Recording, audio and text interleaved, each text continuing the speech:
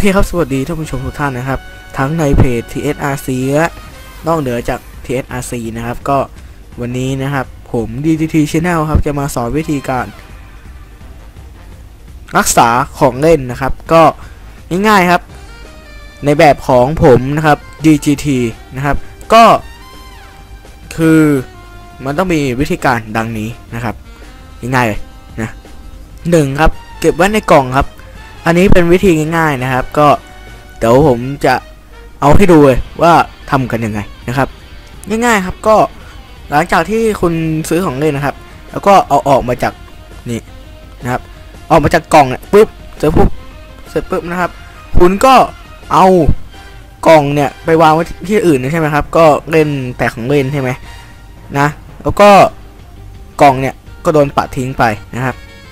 ถูกบิดเบี้ยความสนใจมาจาก เข็มขัดนั่นเองนะครับ ก็อย่างสมมติผมซื้อ Dive Diver มา ซึ่งตอนนี้ก็ไม่มีนะครับ ก็ซื้อมาเล่น รู้สึกว่าเราไม่ค่อยได้เล่นเท่าไหร่นะครับ ก็อยากจะเก็บรักษาเล่นก็ง่ายๆครับ เพียงแค่นะครับ อะง่ายๆเก็บใส่กล่องนะครับอะเก็บใส่กล่องเนี่ยช่วยอะไรได้บ้างนะครับ ก็ง่ายๆเลยหนึ่งนะครับการเป็นรอยนะครับ จากแรงกระแทกอะไรเนี่ย นะครับ การหมดนะครับ แล้วก็ทำให้ของเล่นเล่นกับเราได้นานนะครับ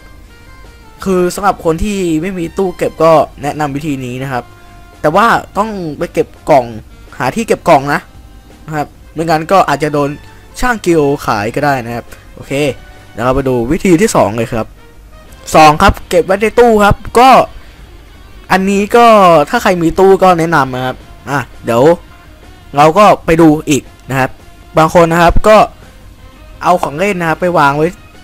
ซุกที่ใดที่หนึ่งนะครับ ที่คิดว่าตัวเองเดี๋ยวเอาออกมาเล่นอีกนะครับ ก็ง่ายๆครับ ถ้าอยากจะให้ของเล่นอยู่นานกับเรานะครับ ถ้าเรายังไม่เล่น ก็อยากซื้อผมซื้อ DX b a k e Gunner นะครับ กับ Dive Diver มานะครับแล้ว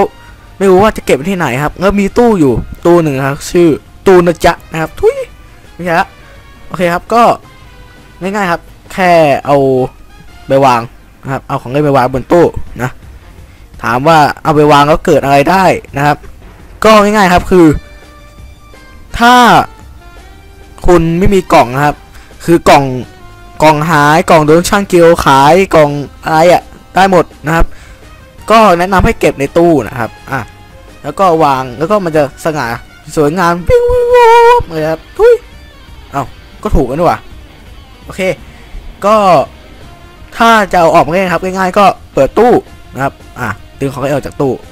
แล้วพอยังกูดึงตู้มาก่อนไหมเนี่ยโอเคก็นะครับ เสร็จปุ๊บถ้าคุณเล่นเสร็จ คุณก็เก็บไว้ที่เดิมครับ หรือไม่ก็เก็บไว้อีกชั้นหนึ่งครับ อย่างคุณอยากจะแยกว่าอันไหนตัวร้ายอันไหนตัวดีก็อย่าง ถ้าอยากเอาตัวร้ขึ้นไปข้างบนก็วางไว้ชั้นบนก็ได้ครับสำหรับคนมีสองชั้นนะ แล้วก็เอาตัวดีวางไว้ข้างล่างครับ อย่างสมมติว่าถ้าอยากเก็บให้มันสวยๆหน่อยก็จัดเรียงเป็นซีรีส์ซีรีส์ไปเลยครับ อ่าอย่างของไดนี่ก็จัดเป็นไดนะครับ ก็ให้จัด ตู้แบบดูดีนะครับ คือยังไงอะคือทำให้น่าสะดุดตานะครับง่ายๆเลย นะโอเคครับ ก็มีอยู่แค่ 2 วิธีนี้ครับ ก็นำไปใช้กันได้นะครับ ก็สำหรับคลิปนี้ก็ขอจบเพียงเท่านี้ครับ ถ้ามีคำถามอะไรอยากจะหาวิธีรักษาเพิ่มก็ ถามมาได้ครับที่คอมเมนต์นะครับ เดี๋ยวตอบให้ครับ โอเค ก็ขอจบเพียงเท่านี้ครับ ก็ขอขอบคุณที่